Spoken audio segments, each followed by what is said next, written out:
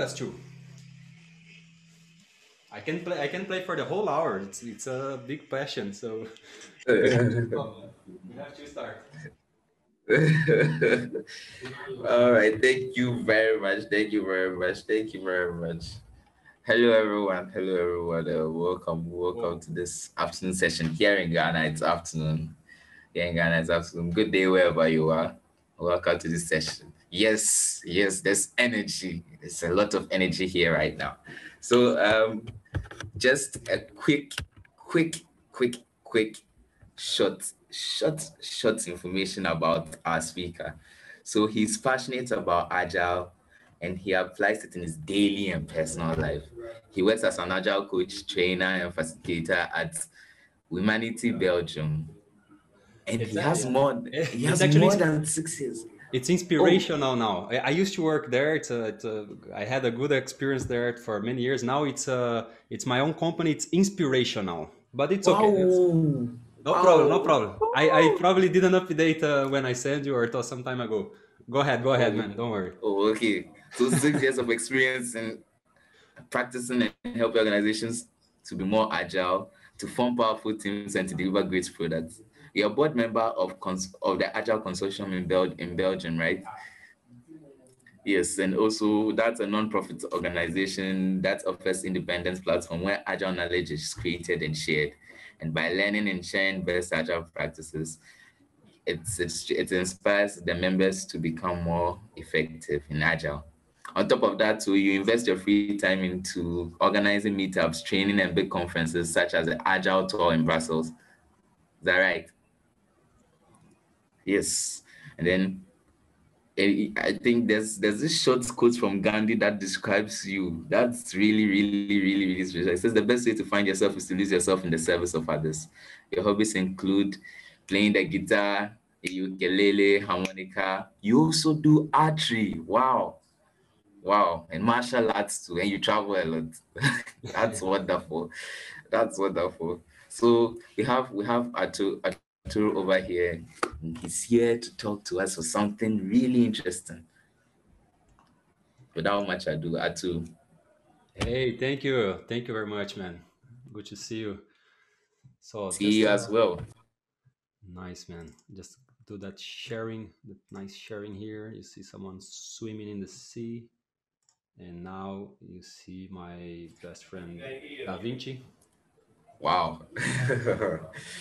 All right just to, to make some uh, minds land into the call i probably were in another meeting you're uh, talking to your colleague to your boss you're making the grocery shopping and came rushing to see this talk.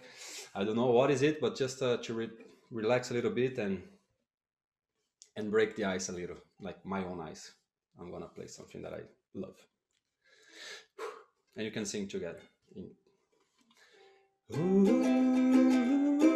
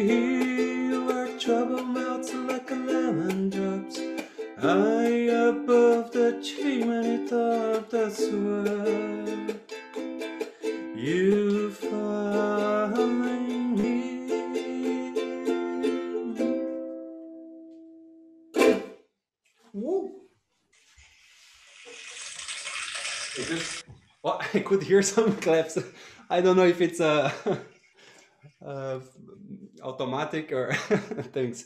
Just to break the ice, I love music. As you can see, I, it's one of my passions, and I try to put two passions at the same time. That is music and sharing with the community. So two passions I have at the same time. It's a way to break the ice, relax a little, and I get so nervous that whatever comes next, I'm I'm fine. So thanks a lot for being there, everyone. Thanks for uh, organizing this Akaditi and inviting me. And amazing Agile 20 Reflect. It's just crazy how many sessions and how many nice knowledge and content and connections we are having during the whole month of February. It's just uh, crazy. I think we should have that through the whole year. It will be amazing. So, I'm Artur Margonari, Brazilian guy living in Belgium for about six years now. Um, background developer. Actually, before developing, I was cleaning printer machines, removing 60 screws, and then cleaning the toner of the big uh, printer, and then putting the screws again and giving back to the client. And then I went to the help desk where people used to call my mother the different names because they were pissed. So I was like, "Sir, I'm here to help you. My mother has nothing to do with that. Uh, did you check if your uh, printer is plugged in the electricity? But it's an absurd. Uh, wait a second. Oh, it was not. No problem, sir. I hope you have a great day. Okay, yeah, thank you. And then I started developing. I became project manager and scrum master right afterwards. And I was like, I think I want to dig a little bit deeper about what is this agile thing. And I started digging deeper, studying, going to courses, to conferences, traveling the world because it really is something that speaks to me. And I was like, why are we doing the other way around? So I started growing um, on, on uh, my expertise, not only to help the team, but also the whole organization, 360 and not only uh, it's an end-to-end right? We, we need to to be able to help uh, the whole uh, lead time the whole process end to end and that's why i started digging deeper. And giving talks and conferences is one of my passions as well. And i have three main goals in life. The first one is to not the first one they're equally important somehow for me. So one of them is to learn 15 languages 10 that i can speak fluently five that i can survive somehow uh, learning 20 different uh, musical instruments and traveling every single country in the world. Today is a little bit hard, but uh, I will keep on the, the goal, the third goal before the, the pandemic is over. And that's me uh, now sharing a passion with you because I want to ask you if you could choose anyone to have a dinner with, live living, uh, uh, dead or alive, who that person would be. So just huh, having a dinner with someone. I have my answer, and it's big in your screen right now, and probably you could guess already. So this person for me, it's really. Um, uh, I, yeah, I, I, think it would be amazing having a dinner uh, and and sharing a beer and talking, trying to understand more about this person because these last years I started reading a lot of biographies, and it was can be from Elon Musk, from Steve Jobs until uh, Julius Caesar, Muhammad Ali, Einstein, Da Vinci, and I started learning more because you not only learn about the person but also about the context that person lived. How was the life at that moment? How, what was happening at that time? What are the crossovers you had like different personalities at the same time? Oh actually they coexisted and I learned a little bit more about that. And when I read the one from Da Vinci, I was already quite fascinated about him, but I didn't know a lot. And I was like, all right, this dude is uh, uh, uh, crazier than I thought. So I started uh, watching documentaries, reading more books, and trying to understand more about him. And I could feel that maybe he has a few things that we might have in common in the ways of working that we try to to foster nowadays. And that's why I created this conversation. I mean, I hope we can interact somehow, maybe put in the chat whenever you have a question, whatever you feel like, uh, hey, what do you mean by this? Or just uh, something that you also saw. And it would be really nice to, to have this time with you. So just to talk about Leonardo da Vinci, I'm not going to do a timeline of his life. Like he was born uh, and then he, in his childhood, his teenagehood and him, just to, in case you've never heard about him, or you don't know exactly the, the main uh, facts about him, he was born in Italy and not really in Florence, but next to it in a small village called Vinci. That's why it's Leonardo da Vinci. where he was born. He was born in uh, April 15 of 1452, uh, and he died in May 2nd, 1519 in France. That's it. Thank you very much for coming to this session. I hope you have a great day. Hope you learned a lot. And all right, let's go a little bit deeper because I want to see, um, I want to share with you also the things that I saw about his personality and the way he treated uh, life, uh, work, and and let's see some parallels with that. The first thing I want to say is like he had mentoring. Verrocchio was his first uh, mentor, and the main one. It's Andrea di Cione. It's my pronunciation. Sorry for any Italian there. Although my name, my last name is Margonari. I'm not Italian and I don't speak Italian yet.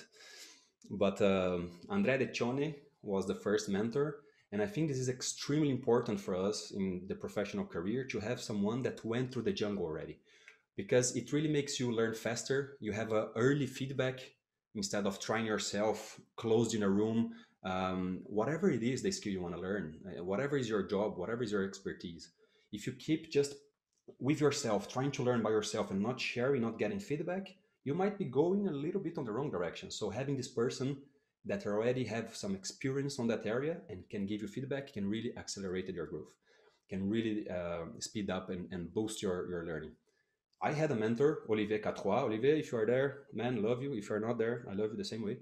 Uh, he was my mentor for five years, and he really helped me. It was really a boost because he, what I was starting, what I was still like maybe new in in the, the area, he was doing for maybe five years, ten years. So he really could help me, and I really recommend.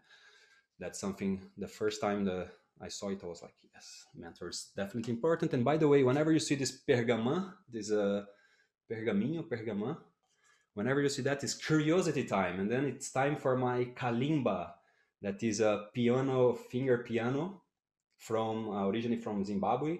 And whenever you hear the you see that comes together with a kalimba.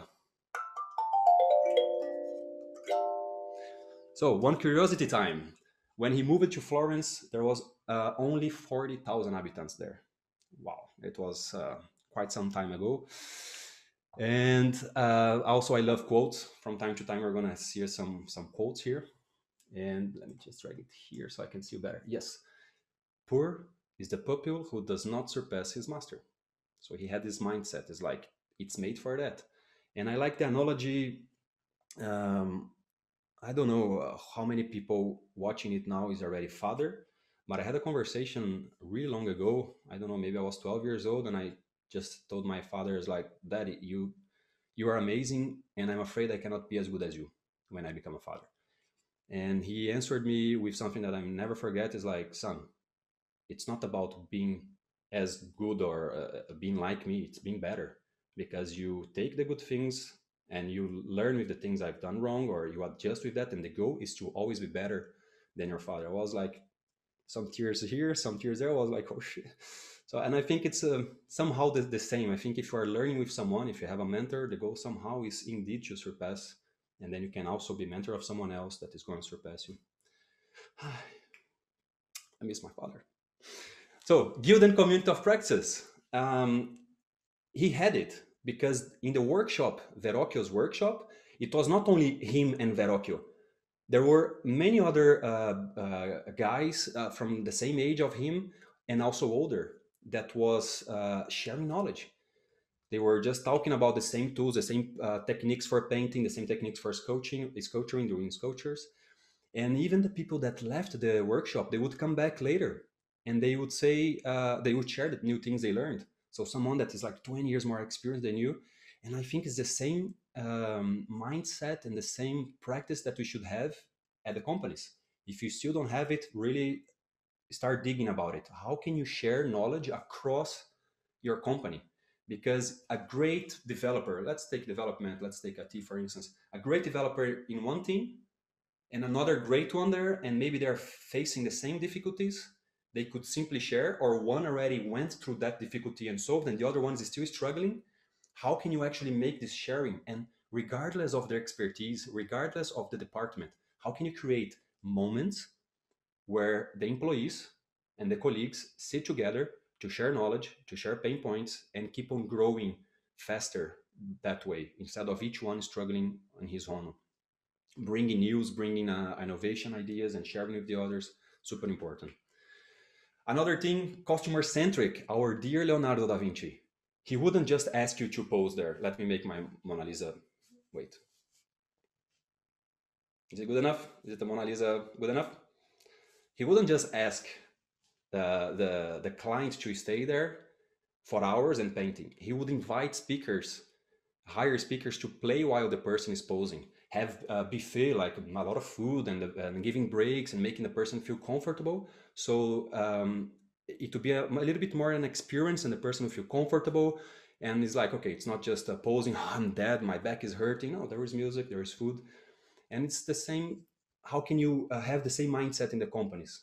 Not only delivering your stuff deliver the product and we don't hear the help desk doesn't really uh, respond or not fast enough or not a good quality or even the product to de- deliver is not a good quality or even worse you are not solving the problem of your client. You think you're just doing it but maybe you're just pushing something into your client. Maybe he uh, or, or, she will just leave your company or stop, uh, stop using your product. So how can you understand who is your client what is the need and how can you solve it and deliver with quality have this uh, customer centric approach right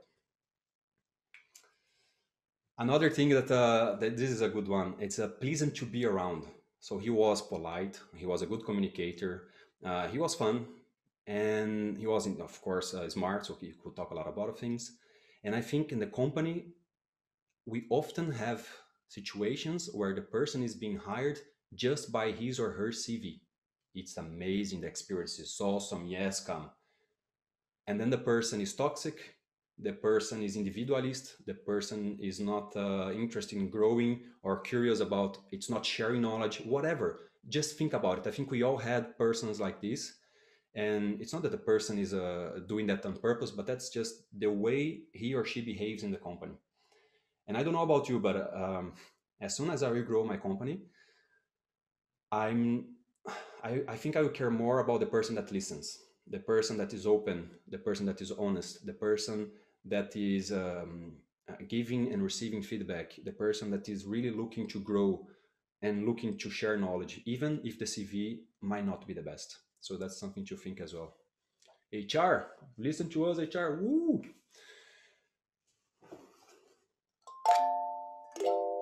Almost lose my fingernail now. I played it wrong.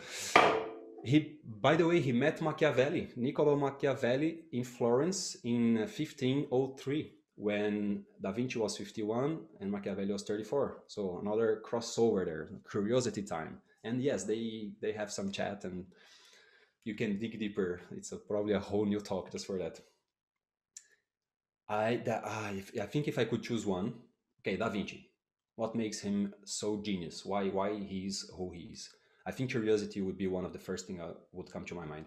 He was extremely curious. He was um, observing things all the time, focused and mindful, taking notes. He always had a, a notebook to take notes with everything that happened. And by the way, uh, I don't know if you can see here, that is the dragonfly. He was observant enough to look at the dragonfly and detect that it had four wings. When the two ones in the front was down, the two ones in the back was up. And I don't know if you've seen a, a dragonfly. It's, it's crazily fast. It's like, and then touches the water, get out. And he was observant enough for that. All the time taking notes. He would never take things for granted. It's like whatever he would learn, he, he would try to check by himself. And it's also how can we be that curious in the company? Not only about the job, not only about uh, doing your work, but about the client. So coming back to being customer centric, how can you be curious about your client? Some people are even talking about uh, client obsessive, uh, obsessive by the client. So how can you really know exactly what are the needs? How can you really solve and keep your client satisfied, delivering value, making the life of this person easier and better? And also be curious about your colleagues. It's another way to, to see like how can you actually be curious? Because I see multiple times people working together for maybe one year, two years, five years, and they still don't know so many things about the others. I'm not saying that you should share your dark, darkest secrets uh, with your colleagues, but sometimes fun facts, things that are in common. people that play the same game, people that like to watch the same kind of uh, sports, people that live nearby, and also be curious and, and get this bonding with your with your colleagues. Curiosity is, was is, was really insane uh, in Leonardo da Vinci, and I think in many other genius. It's about the curiosity, and that's why I have another quote. Whenever, let me just make a parenthesis here. Whenever you see a quote from uh, our dear Einstein, you can already check deeper. Was it really Einstein? Because there are so many quotes uh, that are um, said that it was by Einstein, and it's not really. So I try to dig. Looks like this one it is. And If it's not my fault, but I, I think that's really one of the Einstein's uh, quote that is, "I have no special talent. I'm just passionately curious." And I think it's the same for Da Vinci. Just extremely curious about everything, learning not only one expertise, but what about the others. And I'm going to share about uh, different expertise very soon. So, curiosity time about flying. He was obsessed about flying as well. He studied it for more than 20 years. He has more than 500 drawings about it and 35,000 words just about it and, and dozens of books. Just just a second. Looks like you're gonna laugh on that, huh? That if it's recording, it's gonna be fun. Looks like my vacuum cleaner decided to work alone. I don't know if you can hear. Just give me a second and I'm gonna shut it down.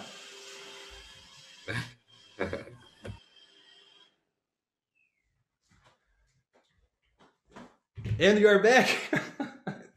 oh my god.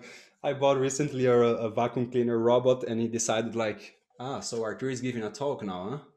Huh. Let me see if I can start making a lot of noise now. All right, you're back. oh my god, I'm sweating. and I schedule it. I schedule it for uh, Thursday and Saturday, not Friday. But he said like, nah, I think Friday is a good time. All right, let's come back. Whew. So he was obsessed about flying. Twenty years studying, five hundred drawings about it, thirty-five thousand words in dozens of books just about flying. And another combo curiosity time about anatomy. He had 240 drawings about it, 13,000 words, and he dissected more than 30 bodies and dozens of animals because he was curious to know what is inside. He was curious as well to learn the bones and the muscles, not only for curiosity, but also to make his paintings more accurate because he knew what was underneath and he could make the drawing and the paintings better. So the guy was, ah, come on. Okay, let's keep on going. Another quote for you learning never exhausts the mind. And another one, the noblest, the noblest, noblest, noblest pleasure is the joy of understanding. The first one might some people might say like, oh, of course, learning makes you tired. I, I don't think it's what he meant by that. I mean, when I was there and he told me that, I was like, Da Vinci, come on, can you please uh, explain me that? And he explained me.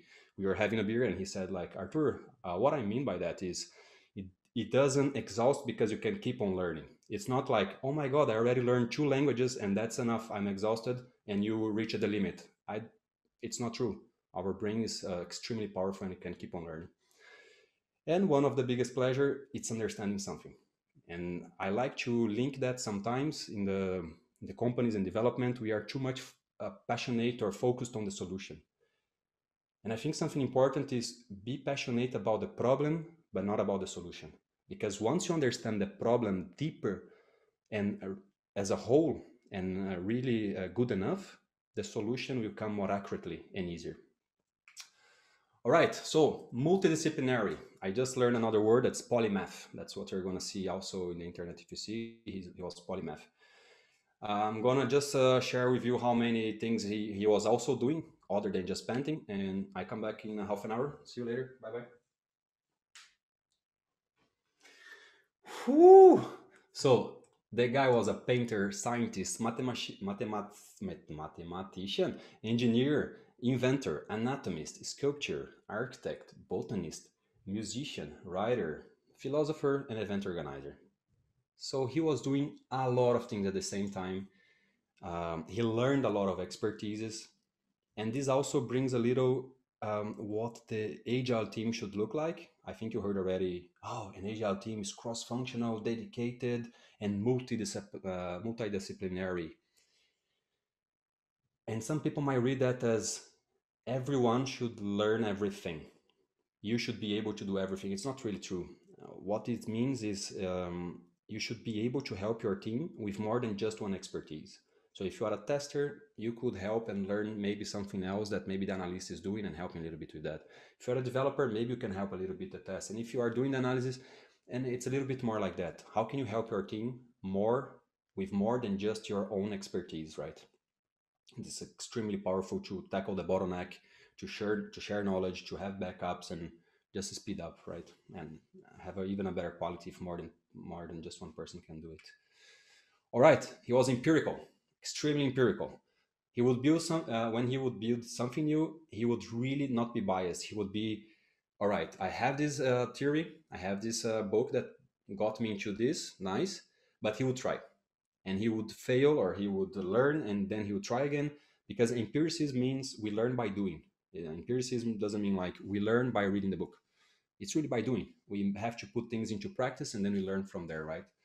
And I think Agile is pretty much the same. We just want to learn by what we build and as short as possible feedback loop because there we get the feedback from the clients, from whoever is using uh, our product, and then we keep on learning from there because taking a year to deliver your product, you are learning nothing. Artur, what about mockups? Yes, mockups. Okay, maybe you are showing the design of the screen, how it's going to look like, but it's not really using the tool. The look and feel is not the same. You are not it's very hard to say that is the same of the real product. So when you start delivering incrementally, you start learning faster and being empirical and making sure that you are learning by doing. Another quote for you. That's a long one. Let me just move here the screen. Yeah. Those who are in love with practice without theoretical knowledge, it's like a sailor who goes onto a ship without rudder or compass and who never can be certain where he is going. Practice is uh, must always be found in sound theory. I like that because it's not only about practice. Go practice, practice, practice without any theory. That's not true at all. And it's not what Agile says as well. We need a theory. We need a bit of plan. It's just that practice is not as important, but a bit more important, but cannot be without the theory, cannot be without a little bit of plan. The fact is, your plan the day after is not true anymore. Let's be clear. If you make a beautiful plan, the day after, John got sick, or GDPR, or a budget was cut, or someone win the lottery and it's gone. So you have to redo your plan and keeping, as Margaret Thatcher, Margaret Thatcher would say, is like plan your work and work your plan. Right? Right. So let's go. Improvisation as you could see the, the multidisciplinary that he was, he was also an event organizer. And when he was doing an event for a king or for a patron, for someone very rich, and something would go wrong, he wouldn't be like, ah, no, stop everything, stop, let's start again, let me. He would improvise. He would take that problem and make it even as a an advantage. Sounds familiar? So the problems will be arising. We cannot stop. We cannot change uh, things that are not in our influence. They will happen to us. A pandemic will come, and I think it's the most cliche example lately, but it's still a GDPR, a budget cut. Things will happen. So how can you improvise with that, or how can you use that as your advantage? So also this mindset in the development is extremely important and should probably start from the leadership, right? Ideas he would never hold just for himself. He would share with others he would talk to people around him. He wasn't afraid of that. He would be sharing with uh, his colleagues, with his patron. And I think I see multiple times uh, companies or people, even your friend, think about your friend, think about yourself. Sometimes you're very afraid of sharing idea with others because they're going to copy it. If I share, this person is going to do it before me. People are not even having time to implement their own ideas. Imagine yours. But okay, uh, I think that the most important thing is to know as soon as you share your idea, again, feedback. You maybe feel like uh, with a few persons that you shared, is already the idea is crazy. They would never buy that product, or maybe they would, but in a different way. A little uh, pivotation, pivotation, a little bit change here. So I, see this multiple times, and companies as well holding everything. I think your uh, code maybe should be hidden or whatever. Not should, but uh, some companies really make it security based. That's fine. But about the idea, I think the more you share, the more uh, the ideas um, they, they mature, they pop up other ones, they pivot, and it can be more accurate in, in delivering your solution. And talking about ideas and innovation, he was an amazing uh, innovator. The sfumato, that is this kind of a shadow where you can't really see the line really done, but it's a bit, uh, you know, like the ice. We, it's not always that we see so perfectly the line. So he created this sfumato in a nice way. Viola organista. That is a kind of piano. It's a um, piano that he developed, and it, they recently they built it using his uh, drawings and his technique. And it's a kind of piano that you keep hitting the pedal, and it keeps keeps on playing, and it's beautiful. Lights and shadow, not only the sfumato, but the lights and shadows, the way they put it, it was also innovative for the moment. The perspectives, the way he made the, the as if you are there uh, looking at the painting and you are present at the scene. It's extremely uh, amazing perspective. Bodies and uh, the, the, the, the, muscles and the bones and the shapes, because he was studying it a lot. Weaponry design for some part of his life. He was also into um, weaponry and machines to win wars and techniques. And uh, flying machines also. He was passionate about that. 20 years just studying that and even bridges some bridges that he designed that was built today and it was working like a charm and beautiful design out of the out of the box. Completely amazing and i think innovation is something that comes in the company sometimes only when they're feeling threatened only when the bankruptcy is coming and then it's like oh my god i think we have to innovate uh, let's give an example of the banks. The banks they were always reigning. Um, they were always the king somehow for decades. A lot of money, people depending on them. And these last years, fintechs, small startups, is starting uh, this this this new way of which is way less bureaucratic and way cheaper sometimes and way more efficient that you can have your credit card you can have this in many uh, um, how to call that it can be in euro, can be in dollar, can be in yen, can be in reais, doesn't matter. And the banks start feeling like, oh my God, they're really biting big part of our cake. And now let's innovate. John, uh, come here. Uh, what is the agile thing that you said 10 years ago? You said about agility, agility, agility, uh, agile. I think it's a good time for that. I think it might be too late sometimes. So how can you be innovating constantly, not only when you're feeling threatened by the, the competition or bankruptcy? Curiosity time. Michelangelo, another crazy crossover there. Uh, Michelangelo was born in 1475 and it became one of his rivals somehow. Although he was way younger than Da Vinci, he was doing amazing um, sculptures and it was so perfect. Looks like the like da, Davi, the, the, the one of his fa- uh, more famous one. It's huge one. I don't know, three meters, three four meters or even more so perfect and da vinci was like huh so they had already this kind of uh, competition somehow there and about competition again the fintechs they are young they are just coming but is really taking big piece of the cake maybe uh, it's time to start innovating pioneering he was uh, uh, in the dentistry sector because he was dissecting so many bodies he was understanding parts of the teeth that they never knew before. The the roots, how it is uh, um, attached to the skull and to the maxillar. It was so perfect that even the drawings that he did at that time, today's people are still like, oh my god, it's so perfect. The craniums as well, he would dissect and he would make sure that uh, he understands how it works, where is what. Parachute, there is even some drawings about parachute and scissors. So he was also being a pioneer. Once again, about innovation and being pioneer, uh, not only innovating or um, trying to change when the the threat of bankruptcy is coming and the competitors are hitting. That's a crazy one. That's a crazy one. Curiosity time. He wrote in one of his notebooks, like hundreds and thousands of pages, uh, Il sole non si muove again, my Italian is not fluent, but the sun doesn't move. He just noted that's like, yeah, it doesn't move. Of course, maybe it was not just like this, like, yeah, it doesn't move. Probably a little bit more study. But at that time, he already saw it. And Nicola Copernicus just came with the, the, the theory and, and trying to prove it years and years later. And and at that moment, he was already saying like, yeah, doesn't move, doesn't move at all. It's not the the the, the Earth, the center of the the universe, at least of our region in the galaxy. It's pretty much the sun. So the guy was a ah, ah Da Vinci.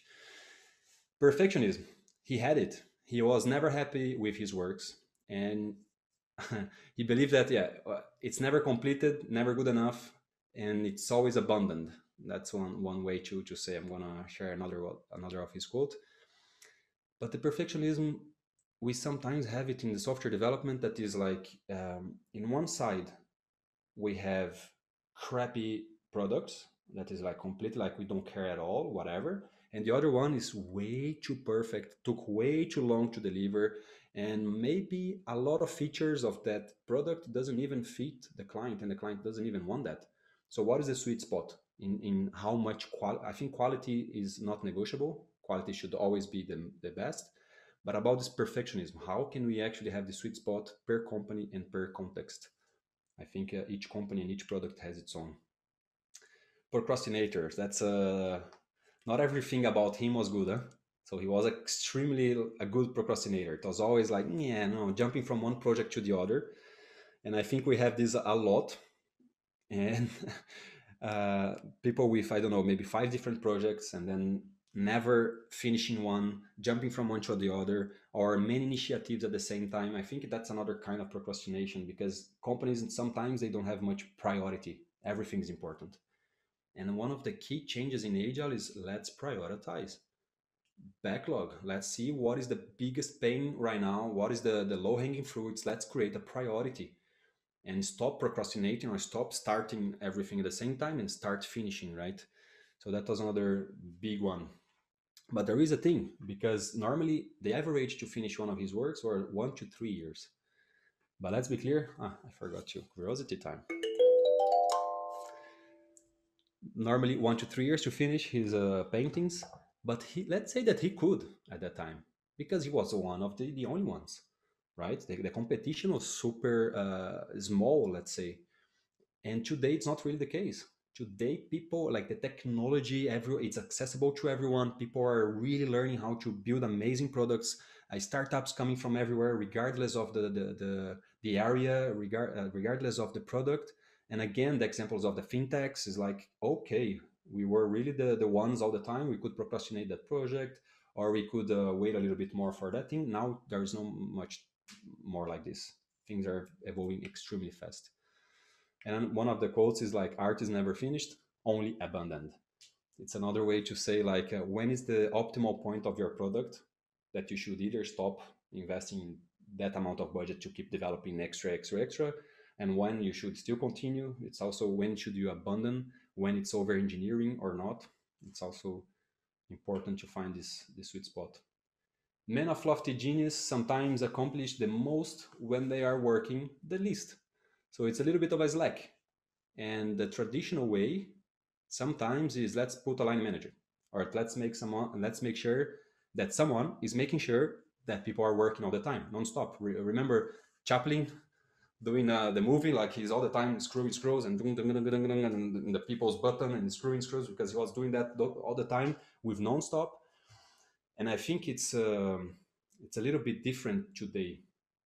I think the majority of us it's working more with the knowledge, more uh, less brutal, less uh, arm, and a little bit more knowledge. And sometimes there is a slack. Sometimes we need to take a, a, a step back. We need to maybe look somewhere else, and it's not keeping people busy all the time because you just get a bunch of uh, busy people, as uh, Henrik Kniberg would say. So it's also about like, yeah, maybe we need some slack, maybe we need some hackathon time, we need some time to just let's have some good time and share a beer for some time instead of like developers should only be developing. No no no don't interrupt john he's, he's a developer he should be developing all the time. Oh okay maybe not really the most efficient way sounds efficient but cost of delay. His discoveries were only published 300 years later and that was too late because some other people also had the same ideas that he had later on and then they published the, the things and can be Isaac Newton, can be uh, Nicola Copernicus, as I said. And uh, he wasn't caring much about money. In his case, he was just like, I want to learn, I want to get hands on, and I want to produce things. And that's my pleasure. Money was just enough for him to live a good life. But I don't think it's the case in many companies. And even because you have to pay people, right? Some companies they, they have other responsibilities, and delaying your product of one year, two years, three years, it's really costly. And it's very hard to calculate it, but once you do calculate, okay, this feature must be perfect, and then let's do no one month, no, no, let's put three more months, and let's keep on doing that. And it's really costly because maybe what you delivered is not what your client wants anymore or maybe the competitor delivered something earlier and then they just stole big part of your uh, clients and users. So it's really important as well to see what is what is again the sweet spot between the time you deliver the how perfect it should be once again quality is not uh, negotiable but how many features it should have and how long should it take there's always this sweet spot that we should be aware of. Cost of delay check it out and try to calculate already in your company about the delivery of your product. Curiosity time! 300 years ahead of his time, as the previous slide, as this, this is saying already in the previous slides as well. He, even the laws of motions, let's say uh, Isaac Newton, uh, the third law of Newton that says if something applies one force to another something, I'm very uh, silly language now, but one object apply uh, force of uh, on another object, this, the other object applies the same force back. And he already noticed that by the birds. Wait, wait a second, how the birds are actually flying? How the heck do they do that? And he noticed that by the wings doing that, it was pushing the air down and the air was pushing the wings up and that's how they kept it and that's why he developed some crazy flying machines and he already knew that at that time and anatomy things and fossils 300 years before ah but he never published so it, it, it went to other people, not to him. So cost of the day. Ah, we are reaching the end of our conversation. So he died in France with uh, Francis First. It was one of his favorite patrons because the guy was really. Um, I don't want you to rush in your deliveries, losing quality. He he wanted the quality. He was learning with Da Vinci. So he was more amazed by having such a an amazing person next to him, so he could keep on learning, and was giving him an amazing place to live, um, uh, money to do his uh, to live, and also to do his projects. And that was a painting way later. It's not that someone was like, "Oh, Da Vinci is dying, let me paint here." It was done uh, afterwards, 1800, and I I don't know it, it would be really the guy that I would be like, okay, let's have a dinner, man. I need to talk to you. It's really someone that was extremely curious, pleasant to be around, so many things in the mind. And I wanted to take a little bit, like, give me a bit of this way of uh, living the life or at least learning. And just to try to summarize a little bit what we've seen about our dear Da Vinci. Mentoring. It's important to have a mentor that already went further and can help you in your journey having guilds or community of practice to share knowledge, share problems, and uh, grow faster, to be customer centric, to share your ideas. Don't be afraid of sharing your ideas. Be pleasant to be around. I mean, don't be a jerk, pretty much that. and if you are hiring people, try to consider as well not only the CV, but uh, the soft skills and how the person is. Uh, multi, uh, multidisciplinary, try to learn different things. How can you help your team with just more than one expertise, but also others. Extremely curious. Be extremely curious about everything. Be mindful. Be present. Take notes. Don't leave everything into your mind and trust that you're going to remember. Be extremely curious about the things you learned and how can you actually change that if possible. And be empirical. Not only curious, but try new things. Make sure that your product is receiving feedback and it's uh, in production somehow earlier than five years a little bit earlier than that. Improvise, use the change in your favorite because changes will keep on happening.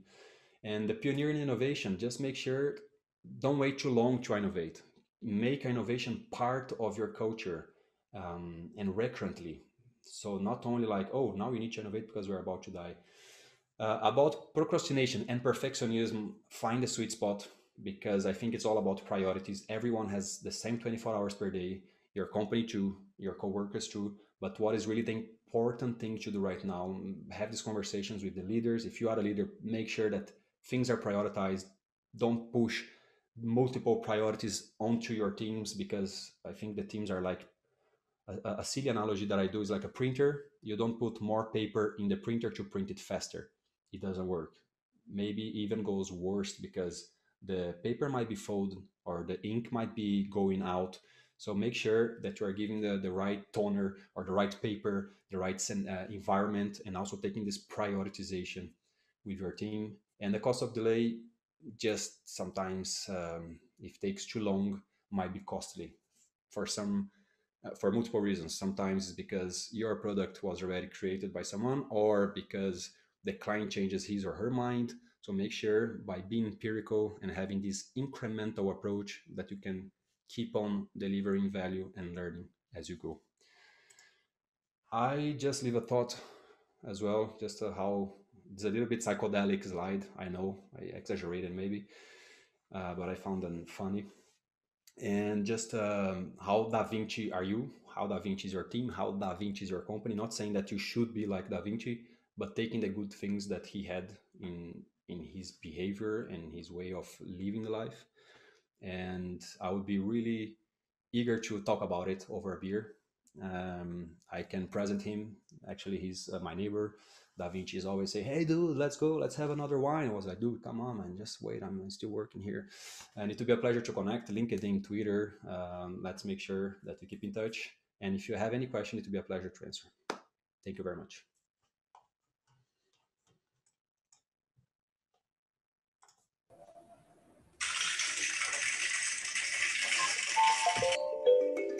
I don't know if it's raining or those are claps, but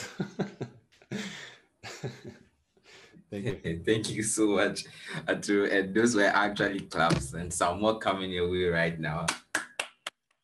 Thank you. Okay, so yes, uh, you have some questions. I think there's a question here for you from an anonymous attendee. Uh, first of all, we go ahead by saying they thought agile meant to be nimble, but then now they know that it transcends being be, beyond nimbleness. But then the question is, is that does agile always bring tangible results or is just a method of measuring outcomes? My default answer would be no.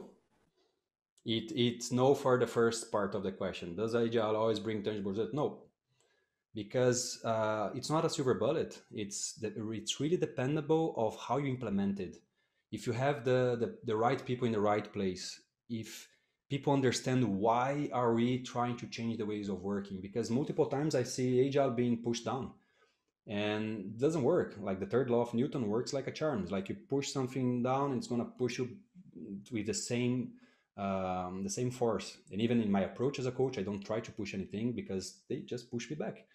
So it really depends on the people you have, depends on the context, depends on how agile is being explained there. Because whenever I'm helping one team or one company to go agile, I really come back to the why. It, it can be Simon Sinek, uh, Simon Sinek, it can be whatever other uh, things you read around, but for me it's important because that's how I work. If someone is pushing me to do something or asking me to do something, I'm always interested in knowing why. So, want to go agile, want to implement Scrum there, or come on, whatever is the the purpose of your change, why are we doing that? Those are the pain points. That's how agile might help. Let's try by the priority what are the biggest pain points what are the quick wins and then we go from there. So does agile always bring tangible results? No. It depends on the way it's implemented. Uh, or is it just a method of measuring outcomes? I would say yes and no. Yes it can totally measure the outcomes because it brings such transparency. Once you have agile implemented transparency is popping up everywhere. Problems that were like the dust that was under the carpet for 10 years it's popping up and then you can solve it so it's really um, you can know the outcomes for sure, but it's also how to increase the quality of these outcomes, how to make sure that we are building the right thing and the thing right, right? It's it's a bit more than just measuring the outcomes. I don't know. I hope I answered your question. Um, let me know if you you can say yes or no. If you are shy, just send me a message on LinkedIn, and we can continue yeah, speaking of speaking of your social media profiles, you are Artur Margonari everywhere. So that's on Twitter, on Instagram, and then on LinkedIn as well. Yeah, Artur Margonari. There's no underscore anywhere. There's like nothing anywhere. It's Artur Margonari. You will find him anywhere and everywhere. so I also I also have my personal question actually. It's yes. Small, yes. So um looking looking at looking at um Da Vinci's life, lifestyle, having a mentor, um how looking at um the the the speed expected from uh, agility how long do you think how long do you think mentorship should probably play in that in that in that space? Uh, when should you start having a mentor or how long it should last? No i'm not sure if i understood. Um um i, I mean um probably um during the period you have a mentor when till you are till you are fully groomed or till you are ready to leave um where does does can agility still happen? Like in in um, um, producing results within a um, short period of time? Because under mentorship it seems like you have to be ready to learn a lot more to before you can start going out to produce results. But then how how can the two of them work together like looking looking looking as one one requires a lot of time and then the other one also requires results in a very short period of time i don't know is it is it a bit clear I see if I got it. Um, so I had a mentorship for five years. I had another mentor when I was still in Brazil. Um, it was um, for every mentorship I've seen around. It really depends on both. Depends on the availability. Depends on how long. Some people they do weekly sessions of one hour. Some people have some calls. Some people have uh, thirty minutes or 10 minutes every day it really depends on the the people and and also the connection sometimes it's not a match sometimes it's just like okay does, i don't like much or it's not helping each other because i think the mentor is also helping by being mentor of someone uh, i was also mentor of around 10 people during these last five years and you keep on learning as well so i really don't know if i got your question um, you asked try try again. Try. I I, I promise I, I try to understand right now. I'm gonna get it because I don't know if I got your question. I don't think I'm answering that. Oh, I think I think you you you you you've answered a bit of it. I, I just wanted to know when it's part of. I think those were the those were those were some of the um the character traits that were that were that were found like with the with the first agilist, right? So in the practice of agile where speed is speed is um, speed and results within a short period of time is required looking at mentorship, which might take a very long period of time, how how does that how can that balance come in to make the perfect agilist? If if if uh, I should say, if I should ask that way. I think I got a little. Um, I would. I think I would separate. I think you can have mentorship with or without agile. I recommend that actually, regardless of your profession, regardless of your expertise. So that is mentorship. Someone that went through the jungle already, that went on the path, and can share some techniques with you, can share some experience, can coach you. Uh, that's one. And agile transformation and journey, I think it would be another one. Of course, as an agile coach, we have a little bit of mentorship. We we play like if you see the framework, the agile framework from the Agile Coaching Institute, Lyssa Adkins and uh, Michael Spades. As an agile coach, we have many access. We are teacher, because we have to teach Scrum, we have to teach uh, the methodology or whatever the what is Agile. We have to teach. We have to facilitate, so they know how is a facilitation of a session. We have to facilitate. We have to be a coach, not only giving the answers but also getting the best out of the person, having coaching sessions. Or you have to be the mentor. That is the person that knows already. So you mentor the POs or, or you mentor the, the Scrum Masters because they are the ones trying to learn it, and you you can give some tips and tricks um, so I think I would separate. And mentoring can last for six months. Mentoring can last for one year, for five years, for 10 years. Or an agile journey can last also for six months or one year or two years. The, the, the, the big question is how, what is the results? Where do you want to go? And sometimes an agile transformation of six months is nothing. It's, it's basically nothing. Maybe with a mentor, it's also nothing. And when is the time to stop? I don't know if uh, if if you actually ask that. Um, You didn't ask that, right? When is the time to stop or a little bit? No. you, you can go ahead and share. I want to hear. I want to hear what you have to say about that too. All right. Um, moving to another mentor, maybe you feel like okay, you surpassed your mentor, or you are the same, or it's too close. But maybe it's time to find someone that is even more experienced, and then you go to another mentor. You try to find another mentor. And actually, I use that the same as an employee of a company. If I'm an employee on a company, and I'm learning because everyone is there for a long time and I'm, everyone is there. It's like, oh my God. And at some point you start learning, learning, learning, learning. And then maybe it's the time to jump to another company because then you're going to go to another place like, oh my God, all these people there. And then you are like a sponge learning, learning. And that's at least how it was my approach. Even more as a consultant, jumping, jumping. But an agile transformation, I don't think there is an end. I think it's a journey and you, of course, you can put an end on it. The leaders can say, cut the budget, fired all the scrum masters and the agile coaches and that's over. You can always do that. Um, but i think continuous improvement continuous learning it's continuous. So you can just keep on going and the bar is always higher always higher. Competition is also going innovations new technologies. So you keep on improving. There's always a place for for improvement. Man i really don't know if i answered your question. I really don't know I, I think you did. I think you did 100%. I, I, I like the response. It was really helpful. Thank you so, so much. Right. If, if I didn't, or if something missing, we, we share some some call afterwards and we can go deeper. Thank you very much. Thank you very much, Atu. Thank you very much. So uh, we've come to we've come to the end of this session. It's been one solid hour of information and fun about the first Agilist. Um, I really enjoyed myself. Thank you very much. And I think the first time I met you was uh, in 2019 when you came for Agile in Africa back yes. in Ghana. Yes. Yes. And so nice to meet you again. Always, always. So Good nice to see you, man. Good to see you. it's always a blast for me, and I'm nice. I'm very happy to be connected with you all, and I'm really looking forward. For instance, yesterday was a talk for São Tomé and Príncipe, I did in Portuguese, and it was such a, an amazing uh, experience. And I really would love to be present. Like mm. I want this pandemic to go over for many reasons, and one of them is really to be uh, meeting people and, and enjoying the, the good food and the culture and the beautiful places. But yeah, we, we leave it for when it's uh, when it's done. But anyway, good to see you again, man. Yeah, good to see you. Tell you what, um, when when when when all of this is settled, we'll probably bring you food from here to where you are. Ah, I love that. always, always yes for that.